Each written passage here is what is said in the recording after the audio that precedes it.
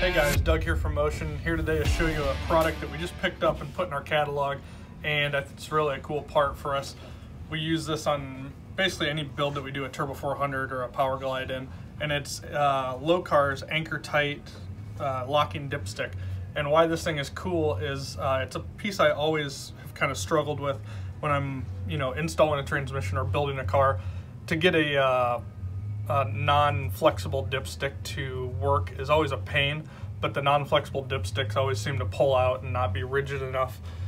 One of the cool things about this is not only is the dipstick locking, so it locks in and out, so it meets the NHRA, IHRA spec, it also locks in and out on the pan side. So the cool thing about this is there is a uh, seal that if you take the pan off,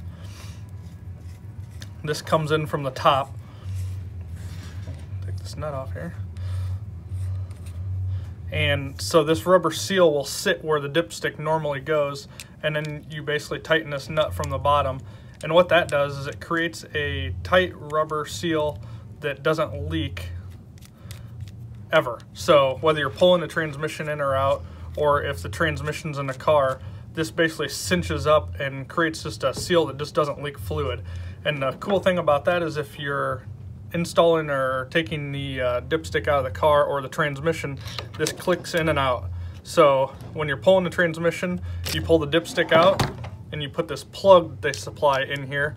And so when you go to pull the transmission out of the car and you're tipping it back and forth, you don't spill fluid out of that drain hole. And that's just really cool. I always that always makes me so mad when I'm pulling a transmission and spilling everywhere. So this would stay with the car and it has a mounting flange, your dipstick does.